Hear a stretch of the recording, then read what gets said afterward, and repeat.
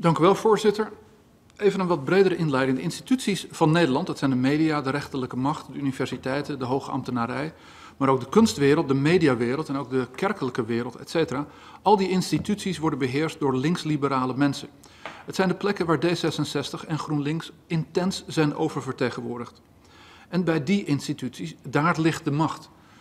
We noemen die toppen van de instituties tezamen de linksliberale elites van Nederland. Ze spreken dezelfde taal, hebben vaak aan dezelfde universiteit gestudeerd. Dit zal de bel zijn die het begin van de plenaire vergadering aankondigt. Ik, eh, heeft u een vraag aan de heer Bosman, meneer Verhoeven? Interruptie? U heeft een minuutje kunnen uh, nadenken. dus Interruptie uh, van de heer Verhoeven namens D66. Ja, er ging ineens een belletje rinkelen, uh, voorzitter. Um, de, heer, de heer Bosman had een inleiding die ik hem al vaak heb, heb horen houden. En hij zei daar dat we, we noemen dit vaak de links-liberale elite, zei, zei de heer Bosman. En toen dacht ik toch van, ja, wie is we? De heer Bosma. Ik en mijn fractiegenoten. Dank u wel, voorzitter. Ik ben altijd uh, bereid om dingen te verhelderen voor de heer Verhoeven natuurlijk. Zoals ik al zei, bij die instituties ligt de macht. En we noemen die toppen van de instituties tezamen de linksliberale elites van Nederland. Zij spreken dezelfde taal, hebben vaak aan dezelfde universiteit gestudeerd, hebben dezelfde meningen. En zij delen de lakens uit. Daarom hebben we massa-immigratie, wordt onze soevereiniteit overgedragen naar Brussel. Staat heel Nederland vol met windmolens, gaan we van het gas af, verspillen we miljarden aan de klimaatgekte. Allemaal dingen waar ons volk niets van moet hebben, maar die toch worden doorgevoerd.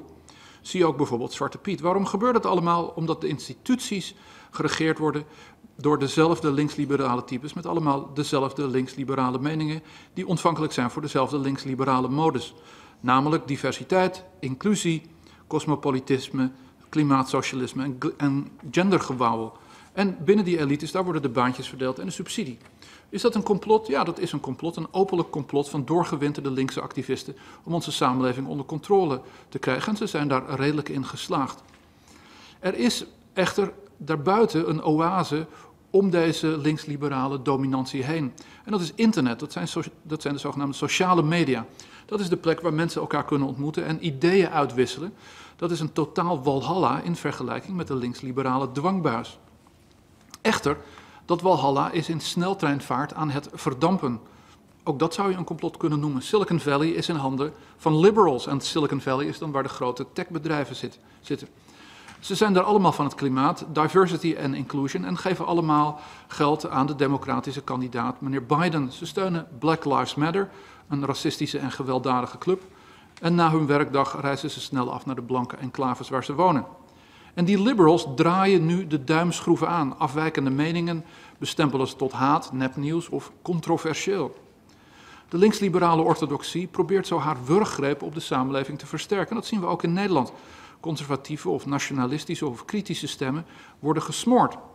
Ondernemer Erik de Vlieger verloor dit weekend twee keer zijn Twitter-account omdat hij berichtte over Joe Biden en het schandaal in zaken dienstzoon. Silicon Valley houdt dat schandaal stil. De New York Post is al een week haar Twitter-account eh, kwijt omdat het bericht over datzelfde schandaal. Uh, schokkend genoeg steunt D66 dat. Nederlandse journalisten zwijgen over wat daar gebeurt.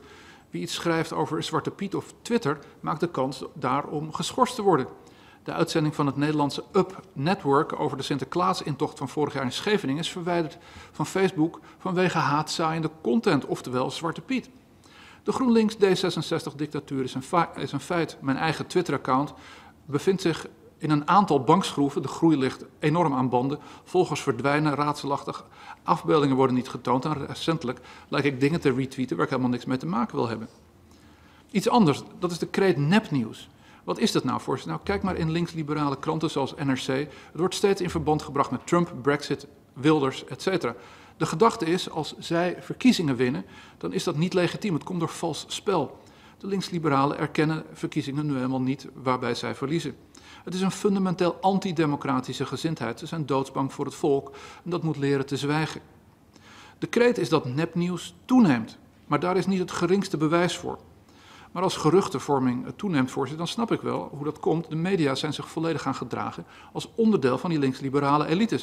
Ze hebben zich nadrukkelijk bekeerd tot diversiteit, inclusie, cosmopolitisme, klimaatsocialisme en gendergewauwel. Het zijn propaganda-eenheden geworden.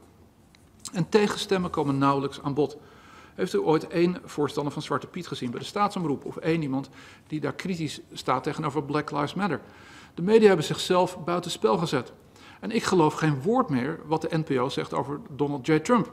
Hun berichtgeving is zo haatdragend, puberaal, onredelijk dat niemand ze nog serieus kan nemen. Sterker nog, de NPO verspreidt zelf samensweringstheorieën over de president, bijvoorbeeld de Russian collusion, dus dat de president samenwerkte met de Russen bij zijn verkiezingsprogramma, bij zijn verkiezingscampagne. Daar is geen enkel bewijs voor. En de hoofdredacteur van de Volkskrant zegt aan het begin van de coronacrisis, ik citeer, ik denk dat het verstandig is om als land één lijn te trekken en om die lijn te steunen. De journalistiek fuseert dus met de Rijksvoorlichtingsdienst. De voorganger van deze minister, Ronald Plasterk, schrijft letterlijk hetzelfde in de Telegraaf. Tja, voorzitter, dan is het geen wonder dat, burger, dat burgers daaromheen hun eigen wilde verhalen verzinnen. Het is in dit opste opstekende antidemocratische uh, klimaat geen verrassing dat GroenLinks en D66 zich recentelijk uitspreken tegen boekhandels die een blad verkopen. En dat blad heeft, heet Gezond Verstand, dus ik snap wel dat het gevoelig ligt bij die partijen. Maar hun totalitaire inborst wint het weer van een liberale verleden. Voorzitter, de critical race theory is zo'n samenzweringstheorie. Um, en heel links gelooft erin. Te Amsterdam krijgen ambtenaren speciale indoctrinatiecursussen. Blanke ambtenaren moeten leren dat ze racist zijn. Kortom, samenzweringstheorieën leven volop. Alleen, wat is dat erg? En is het een taak van de overheid om die te bestrijden? Uh, ik hoor daar graag de minister over. Dank u wel. Ik denk ook dat zojuist eh, de voorbeelden van eh, de heer Bosma, die het zelf gewoon over een complot had, uh, natuurlijk ook wel een voorbeeld zijn van het feit dat er steeds meer mensen zijn die denken dat er een soort van geheime elite is die uh, de bevolking probeert te schaden. En er zijn ook deepfake video's, geavanceerde video's, voorzitter, waarbij onder andere vrouwen geïntimideerd worden of terug, zichzelf terugvinden uh, uh, op porno-websites. Maar ook oud-voorzitter van, fractievoorzitter van het CDA, de heer Buma, werd laatst in een deepfake video getoond en bijna 95% van de mensen trapte erin en dacht dat het echt was. Kortom, desinformatie is een thema. Laten we dat in ieder geval even vaststellen. Maar zeggen vervolgens... Oh. Um, een interruptie van de heer Bosma. Ah, ja. Ja, kijk, uh, de strategie van, uh, van D66 om uh, uit te komen op censuur is natuurlijk duidelijk. Het creëren van een enorm probleem en van alles op een hoop gooien. En dan gaat het weer over samens en dan gaat het weer over dingen die mensen in zaken corona hebben beweerd. Um, maar is het ook niet um, een fundamenteel mensenrecht om uh, theorieën aan te hangen. Uh, waarvan je kan zeggen, ja, het is een samenswering of het is geen samenswering. Ik vraag het ook even omdat meneer Verhoeven een tamelijk omstreden tweet eruit heeft gegooid over het blad Gezond Verstand. Ik ken dat niet, ik heb het nog nooit van dichtbij gezien. Ik dacht uh, niet dat daar, voor zover ik weet, dat daar wordt opgeroepen tot geweld. Het is, wordt volgeschreven, of de hoofdredacteur is Karel van Wolveren, die vroeger in NRC D66 kringen tamelijk populair was met zijn boek over Japan. Ehm, maar is het ook niet gewoon een, een, recht van mensen om allerlei theorieën aan te hangen en te zeggen, corona komt van het eten van bruin brood of de marsmannetjes of wat dan ook. als ik gewoon kijk naar de grondwet, hebben mensen daar gewoon een recht op? Hebben ook mensen om, het recht om dat te delen? En soms, ja, zo, zo zit het menselijk soort nu in, helemaal in elkaar vertellen ze waanzin. De heer Verhoeven. Ja, de, ik kan zo kort zijn als de heer Bosma lang is. Uh, het is uiteraard een menselijk recht om uh, bepaalde uh, complotten of, of, waanzinnige gedachten of samenzweringen, om daarin te geloven. Dat is, dat is, ja, als je daarvan een recht wil spreken, dan is, dat, dan is het absoluut niet verboden bij wet. Dus dat, dat heeft de heer Bosma goed gezien. Ja. Dat is absoluut iets waar ik ook niet van zeg dat het verboden moet worden door de overheid. Nee, maar dan, dan, vind ik het raar dat, dat, dat meneer Verhoeven dus zo'n Twitter uitgooit. En dat hij dus de ACO en Bruna, die dus uh, uh, dat blad uh, verspreiden, ja, ja, die gaan niet over de inhoud, zeggen ze. En dat lijkt me zeer terecht, want als ze dat wel doen, dan, dan, dan, dan is het einde natuurlijk zoek. Maar dat, hè, en dan, en dan, dan verwijt de heer Verhoeven die boekhandels naïef en kortzichtig te zijn. Uh, dus hij vindt eigenlijk dat Buma, dat, niet Buma, maar Bruna en ACO dat blad niet moeten verkopen. Uh, dat, dat een, vroeger was D66 een liberale partij. Deze tweet, dat moet toch een vergissing zijn? De heer Verhoeven. Voorzitter, het is een, een, een tweet die uh, uh, oproept om ondernemersverantwoordelijkheid te nemen om een blad waarin uh, dingen staan die aantoonbaar niet juist zijn, zoals bijvoorbeeld de, de, het, het, artikel waarin staat dat mondkapjes hersenschade bij kinderen opleveren.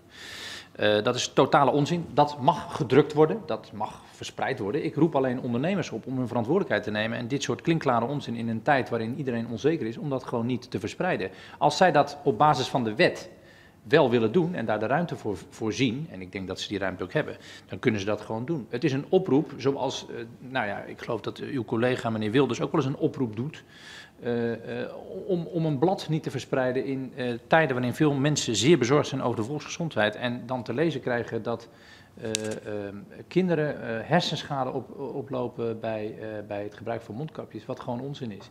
Dus ik roep die ondernemers op dat blad niet te verspreiden. En als ze dat wel doen, dan is het een goed recht. Dat heet het politieke discours in Nederland. En daar is de heer Bosma ook onderdeel van.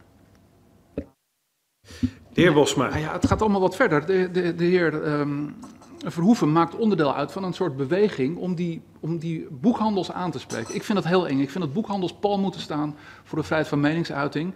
En dat ze zich eigenlijk niet moeten bemoeien. Ja, het zijn gewoon commerciële bedrijven hoor. Maar dat ze, dat ze niet, zich niet moeten bemoeien met de inhoud. Wat hebben we nu gezien in België? Er zijn 7000 exemplaren van een kinderboek verbrand door de uitgeverij. Uh, omdat Zwarte Piet erin voorkomt. En waarom hebben ze dat gedaan? Zeggen ze zelf, omdat Nederlandse boekhandels hebben gezegd: als jullie toch dat boek verspreiden, dan nemen wij niks meer van jullie af. En zo zie je hoe de vrijheid steeds stukje bij beetje uh, gesloopt wordt. En dat blijkbaar die boekhandels zich met inhoud gaan bemoeien. En dan zie ik hier de heer Verhoeven die boekhandels gaat aanspreken, verspreidt uh, bladen niet. Met allerlei theorieën waar we het over eens kunnen zijn, of misschien zijn ze stuitend, ik weet het niet. Maar het einde is toch zoek als boekhandels nu door de politiek opgeroepen gaat worden om, om dingen niet te verspreiden op basis van de inhoud. De heer Verhoeven. Uh, voorzitter, weet u wanneer het einde zoek is? Het einde is zoek als een, uh, als een partij in dit geval uh, de partij van de heer Bosma, de PVV, Nederland een totaal corrupt land noemt en de hele tijd aan het rondbazuinen is dat er sprake is van D66-rechters uh, en, een, en een corrupt openbaar ministerie. Dan is het einde zoek. Als je dat soort uitspraken doet en dat volledig overeind blijft houden en dat voortdurend herhaalt en spreken over een, een, een elite die het volk probeert uh, te schaden, waar allemaal geen sprake van is, zeggen, zeggen dat alles geleid wordt door links-liberalen, terwijl dit kabinet al, jaar, al tien jaar geleid wordt door een, een toch uh, conservatieve, wat rechtsere liberaal. Uh, er zijn allerlei organisaties die helemaal niet door linkse liberalen worden geleid. U bent zelf degene, voorzitter, zeg ik tegen de heer Bosma, die met de partij van de heer Bosma allerlei uitspraken doet die zeer ontwrichtend zijn voor de democratische rechtsstaat van Nederland. En dan vervolgens als een uh, andere partij uh, vindt dat een bepaald blad waar totale onzin in staat niet verspreid zou moeten worden door boekhandels, maar die boekhandels alle ruimte geeft op basis van de wet om dat wel te doen, dan doet de heer Bosma alsof er een verschrikkelijk leed is, uh, is, is, heeft plaatsgevonden. Het staat in geen verhouding. Het, het, is leuk om er een nummer van te maken. Ik heb de oproep gedaan en ik sta daar volledig achter. En ik vind dat de oproepen van de heer Wilders tientallen malen schadelijker zijn en veel slechter zijn voor de democratie en de vrijheid in Nederland. De heer Bosma. Ja, voorzitter. Ja, je schrikt hier toch van als je dat hoort. Hè? Dus uh, polariserende informatie moet worden aangepakt. Mijn god, we gaan echt terug naar, naar het begin van de boekdrukkunst. Maar goed, en ik schrik helemaal als D66 hier zijn totalitaire karakter weer eens toont. Uh, in zaken wat nu speelt in Amerika. Ik zat heel kort weer te vertellen. Er is een schandaal rondom Joe Biden. Uh, er is een, een laptop aangetroffen in een repair shop. En het zit vol met informatie over Hunter Biden, zijn zoon. En dat die betaald wordt door China en heel veel andere landen. Dat is een keihard schandaal. Um, en dat wordt nu ook bevestigd gisteravond weer door, door heel veel mensen die dat ondersteunen.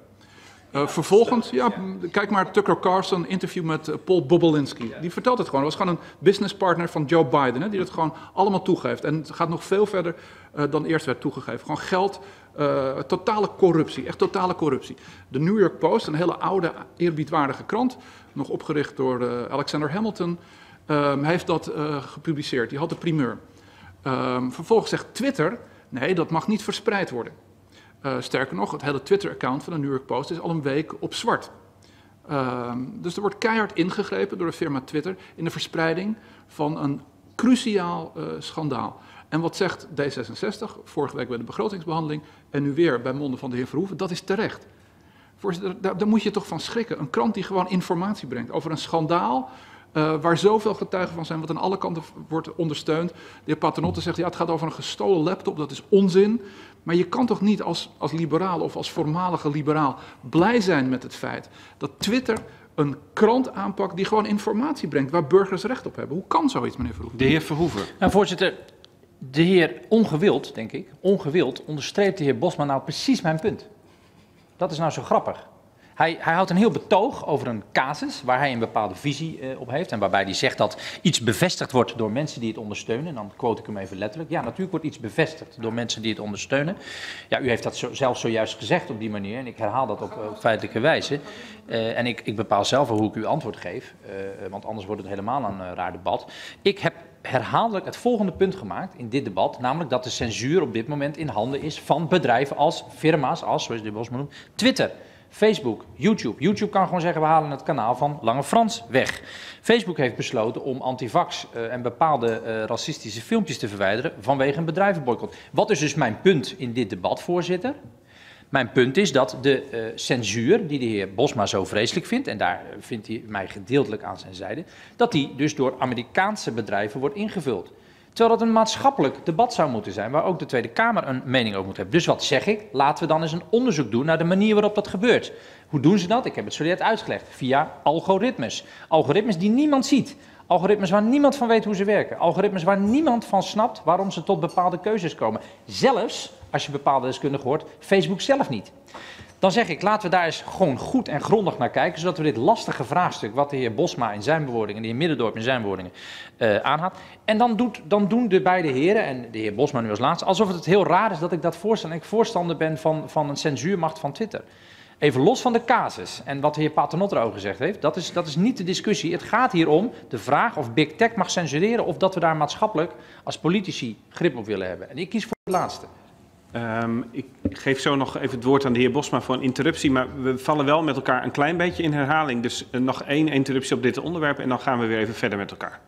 Nee, meneer Verhoeven, dit is nou precies waar het over gaat. Want uh, door die casus te ondersteunen, en u zei net zelf in uw bijdrage dat het terecht is dat Twitter de New York Post van Twitter heeft gehaald. U, u, u gebruikt het woord terecht. De heer Paternotte zei vorige week ook dat het goed was dat dit gebeurde. En daarmee geeft, dan komen we namelijk tot de crux van uw agenda. En de crux van uw agenda is censuur. U vindt het verschrikkelijk dat afwijkende geluiden, dat die zomaar voor het voetlicht kunnen treden via Twitter en via Facebook, et cetera. En daarom ondersteunt u het feit, u zegt terecht, u gebruikt het woord terecht. Daarom ondersteunt u het feit dat de New York Post van Twitter wordt gehaald. Terwijl het enige wat de New York Post doet is gewoon brengen. Het brengen van informatie. Ja, het is informatie die niet past binnen de linksliberale dwangbuisagenda. Ik snap het wel. Maar er wordt gewoon informatie gebracht over een schandaal. Amerikanen moeten dat kunnen weten.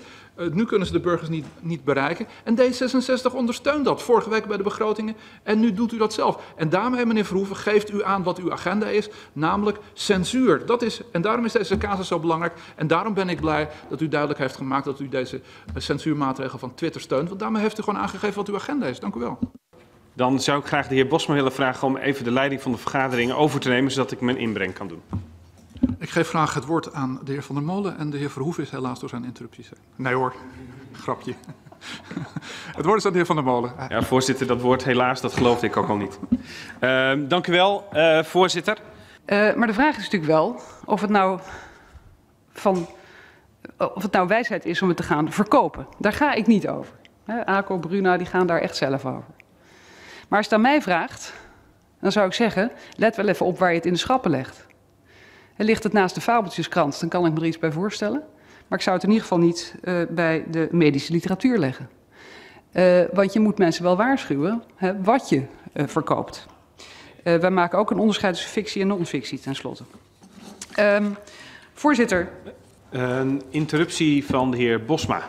Ja, wat, gaat nu een, een, een minister, een dienaar van de kroon, advies geven aan boekhandels waar ze dingen moeten neerleggen? Is het de taak van een minister om, om inhoud van uh, bladen, hoe weerzinwekkend ook, en gekke theorieën en rare dingen en apenkool en waanzin, whatever, om daar een mening over te hebben? Dat is toch niet zo gewoon? Mensen geloven dat 2 plus 2 5 is, of dat je door het eten van bruin brood corona krijgt, of wat dan ook. Zetten dat in een blad. ze zijn wellicht zo gek als een deur, maar het is wel hun vrijheid van meningsuiting. Moet, een, moet, een, moet uh, iemand die uitvoering geeft aan het grondwetsartikel 7, et cetera, vrijheid van meningsuiting, uh, vrijheid van drukpers, et cetera, moet, moet die nu boekhandels gaan, gaan instrueren? De minister. Nee, voorzitter, en dat heb ik ook niet gedaan. Maar ik heb wel ik heb twee dingen gezegd. Ik heb één gezegd, de bedrijven moeten inderdaad zelf een afweging maken over de producten die ze aanbieden. Uh, als uh, een product uh, echter informatie bevat die gewoon feitelijk onjuist is, onzin is, dan denk ik dat het wel relevant is dat deze winkels daar rekening mee houden. Kijk, als mensen zich willen laten informeren over het coronavirus en wat het voor hun gezondheid betekent, dan moeten ze vooral kijken naar de website van het RIVM. Uh, en andere overheidswebsites die gewoon feitelijke informatie verstrekken. En als ze zich echt zorgen maken over hun gezondheid, dan kunnen ze naar hun huisarts gaan, dan kunnen ze er vragen over stellen. Uh, ik denk uh, dat die boekhandelaren zich wel moeten realiseren dat uh, mensen op allerlei manieren op zoek gaan naar informatie over hun eigen gezondheid en over uh, wat ze wel en niet moeten doen als ze zich zorgen maken over dat virus. En mochten zij dan uitkomen bij dit betreffende tijdschrift, ja, dan krijgen ze geen feitelijke informatie. en dat is natuurlijk wel belangrijk dat mensen dat weten. Uh, dus in algemene zin uh, denk ik dat we ervoor moeten zorgen dat wij als overheid uh, die informatie zo toegankelijk mogelijk maken. Dat doen we natuurlijk ook. En dat hebt u ook kunnen zien op social media, dat je toch heel makkelijk toegeleid wordt naar de betreffende websites van, van de overheid en het RIVM. en dat we ook echt alert moeten zijn op, op desinformatie. Nou, er werd nu een voorbeeld gegeven van desinformatie in gedrukte vorm. Er gaat natuurlijk heel veel desinformatie rond op social media. Uh, en het enige wat ik wil zeggen is dat in dat opzicht geen onderscheid is. En dat ik denk dat we het, uh, ook als het digitaal is, maar ook als het gedrukt is, erop moeten blijven wijzen. Uh, wat zijn feiten en wat is dat vooral niet? De heer Bosma. Maar voorzitter, naar, naar, naar welke samenleving gaan we toe als een minister van Binnenlandse Zaken gaat wijzen op feiten en wat geen feiten zijn? Ik kan u de exemplaren geven van Vrij Nederland, waarin Pol Pot werd opgehemeld, of waarin Paul Rozenmuller uh, in, ha in, Haagse Post zei dat uh, Mao Tse-tung geweldig was. Dat is allemaal feitelijk onjuist. Of waarin de, de, de, de killing fields van Pol Pot werden ontkend. Dat was allemaal feitelijk onjuist. Maar het is toch niet aan een minister van Binnenlandse Zaken om dan naar de Bruna te gaan en te zeggen dat is feitelijk juist en dat is feitelijk niet juist. Laten we dat, we komen toch echt op een heel hellend vlak. Er staat zoveel onzin in allerlei bladen. Uh, ja, en die liggen bij de Bruna en die kun je kopen. En als, je, als het niet bevalt, koop je het niet. Dat is onze liberale rechtsstaat. Nou, zeker. En de Donald Duck is ook te koop bij de Bruna en die koop ik ook heel graag. En ik wil eigenlijk een uh, Nederlandse gedragscode opstellen die uh, de transparantie van politieke advertenties uh, duidt, uh, die daarin politieke partijen, maar ook de social media bedrijven, guidance ingeeft. Ik zal dat natuurlijk laten doen door een onafhankelijke partij, want dat, dat lijkt mij wezenlijk. Um, en door zo'n gedragscode kun je uh, ook als politieke partij en als uh, bedrijf laten zien dat je je committeert aan die transparantie. Want het gaat allemaal om transparantie. Het gaat allemaal om inzichtelijk maken. Bijvoorbeeld, is het duidelijk genoeg wie de afzender is van een politieke advertentie? is het voor mensen duidelijk waarom zij deze politieke advertentie eigenlijk te zien krijgen? Hoe kunnen we ervoor zorgen dat burgers zelf op waarde kunnen schatten waarom ze bepaalde informatie krijgen? Uh, en hoe kunnen we voorkomen dat politieke advertenties een middel zijn om desinformatie mee te verspreiden? Dus het is een gedragscode gericht op de internetdiensten, op de Nederlandse politieke partijen. en vooral om te laten zien, wij committeren ons aan transparantie over verkiezings uh, campagnes. En daarnaast zal ik dus ook het voorstel van de heer Middendorp en mevrouw Kuiken uitvoeren dat de politieke advertenties vindbaar zijn op één plek. De heer Bosma. Voorzitter, daar schrik ik dan weer van. Dus de minister gaat dan in samenwerking met de EU uh, richtlijnen verstrekken voor politieke advertenties. Maar sinds wanneer is dat een, een, een, een taak van de staat om politieke partijen te controleren op inhoudelijk niveau? Uh, en dan gaat de minister ook nog zeggen van ja, je mag geen de desinformatie gebruiken. Ja, de, de, de, definitie van desinformatie is zo lekker als een mandje. Uh, die, de minister gebruikt er een. In het rapport van het uh, IVER staat weer een andere definitie. Um, politieke partijen moeten gewoon kunnen zeggen wat ze willen. En die hebben helemaal geen guidelines nodig van welke minister dan ook. En ook helemaal niet vanaf de eh, vanuit Brussel. Uh, is de minister het met, een, met, met mij eens dat ze nu gewoon veel te ver gaat en haar boekje te buiten gaat? De minister. Ja, de heer Bosma heeft denk ik gewoon niet geluisterd naar wat ik zei. Want ik, toen ik het over de EU had, had ik het over de co-regulering. Toen heb ik op een gegeven moment een punt gezet. En toen ben ik naar een volgend blokje gegaan, op weg naar de verkiezingen. Daar heeft u mij het woord EU of Europese Commissie niet in de mond horen nemen. Dus dit gaat over een nationale aanpak. Uh, een, een, gedragscode op te stellen door een externe onafhankelijke deskundige. Die niet ziet op de inhoud, maar die ziet op transparantie van uh, politieke advertenties, waar politieke partijen zich volledig vrijwillig overigens naar, bij kunnen aansluiten, kunnen laten zien dat zij een voorstander zijn van die transparantie. en hetzelfde geldt voor die internetbedrijven. En tot slot, en dat was het laatste blokje hierbij, heb ik gezegd, ik, ik ben het ook eens met de oproep die gedaan is door twee woordvoerders, de heer Middendorp en mevrouw Kuiken, die zeggen, we willen dat het ook inzichtelijk wordt gemaakt wat voor politieke advertenties dan eigenlijk zijn. Uh, en dat wil ik ook doen. er is een initiatief van de Universiteit van Amsterdam voor een onafhankelijke bibliotheek voor politieke advertenties. Ehm, en om dat mogelijk te maken in technische zin, zeg ik daarbij, zal ik een financiële bijdrage aan het initiatief uh, uh, leveren. Het is een, een combinatie van de advertentiebibliotheken die er zijn van Facebook, Google en Snap met data van de partnerorganisatie Who Targets Me. in alle transparantie, dat is dus wat hier achter zit.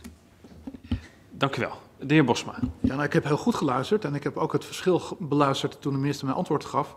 En daar uh, spreekt ze dan ineens niet meer over uh, desinformatie en dat politieke partijen wordt opgeroepen dat niet te gebruiken. Politieke partijen hebben gewoon het, het, recht om elke informatie of elke bewering te gebruiken die ze zelf willen binnen de grenzen van de wet. En die hele vage kreet desinformatie, waar je alle kanten mee op kan, kan nooit iets zijn waarvan de overheid zegt, politieke partijen, houd je daaraan. Het is gewoon een fundamenteel recht van burgers om zich te verenigen in een politieke partij of zich daarachter te stellen of dat te steunen of wat dan ook. En dan vervolgens alles te beweren binnen de grenzen van de vrijheid van meningsuiting. De minister. Zeker, maar het is belangrijk denk ik dat kiezers uh, ook weten dat bijvoorbeeld bepaalde politieke advertenties die zij krijgen, dat het ook echte politieke advertenties zijn. Uh, dat als zij een filmpje van de heer Buma langs krijgen, dat zal nu niet zo snel gebeuren in het kader van deze verkiezing, maar ik noem het even als voorbeeld, uh, dat het ook een filmpje is wat inderdaad door het CDA is verspreid en dat het ook echt de woorden van de heer Buma zijn. Daar gaat het om. Dat soort zaken. Het kan iedereen gebeuren. Het kan zeker ook de PVV gebeuren. Dat door anderen, kwaadwillenden, en welke kwaadwillenden dat zijn, dat moeten we even zelf invullen. Dingen rondgaan op social media die misschien lijken op een politieke advertentie, maar dat helemaal niet zijn. Met andere woorden, desinformatie kunnen, kan via politieke advertenties, die dus geen politieke advertenties zijn, ook worden verspreid. Nou, hoe voorkomen we dan met z'n allen? Door het transparant te maken, door de afspraken over te maken en door te zorgen dat als het niet klopt, dat die social media bedrijven zich ook verantwoordelijk voor voelen om dat dan tegen te gaan. Bosma. Dank u wel, voorzitter. Ja, kijk, waar gaat het nou natuurlijk over? Want al die kreten die worden op ons afgevuurd, nepnieuws, desinforma desinformatie. Um, en daar liggen natuurlijk uh, best wel uh, problemen aan ten grondslag. Denk alleen maar aan het incident met die Russische geheime dienst hier in Den Haag. Met die laptop waar terecht tegen is opgetreden. Maar daar, daaromheen hangt een groot verlangen om te zorgen dat het Nederlandse volk en uh, mensen daarbuiten uh, toch wat minder geluid maken. Want ineens kunnen burgers kunnen gewoon hun mening uiten via sociale media, via internet. En, en uh, de leidende kringen van Nederland, de elites van Nederland, vinden dat heel verontrustend.